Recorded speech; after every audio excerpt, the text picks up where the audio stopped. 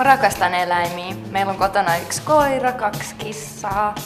No ihania. Mä oon e- eläinihminen ihan. Tää eläin kuin eläin pitäisi kohdella samalla tavalla. Ei turkikselle.